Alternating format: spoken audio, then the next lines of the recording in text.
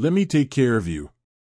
Episode 4 of We Are starts with Fum apologizing to Fiend for pranking him and making him wait until midnight at the mall.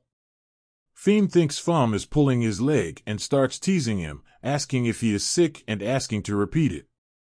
Fum gets frustrated but invites him for lunch at the engineering canteen. Suddenly, Tan catches them off guard, asking what Feem is doing at the engineering canteen. Feem is dumbfounded, but Tan answers his question, suggesting that Feem is probably there because he likes the food at the engineering canteen. Fum and Feem go along with his suggestion. Tan adds that Q had called the previous night, saying Feem was moody and wanted to know why. Feem mentions the prank but does not go into details. However, Tan soon lets go, asking about it. He wants to know what Fom thought of the snack he made him. When Fom calls Fom to ask for glue, Tan offers to deliver it to the architectural building. When he delivers the glue, Fom asks Tan to help him finish his assignment since it is due, and he helps with cutting and gluing the model.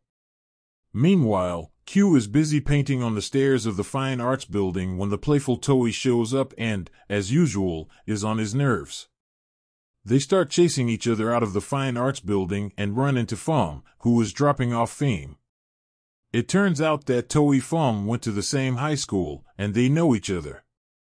Toei innocently asks if Fum and Fame are dating since he saw Fum pick up Fame from the school building some other time. He says he recognized Fum's car. After some conversation among them, Toei says he is heading to the park to skate and invites Toei and Fiend to tag along. Fum offers to drop them off at the park. Fum does not just drop them off at the park, he keeps Fiend company while he draws. He raises the prank issue again and asks Fiend to forgive him since he deliberately asked him to wait and did not expect him to.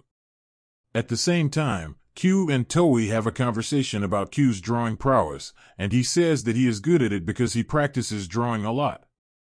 Q says that before the entrance exams, he practiced drawing daily,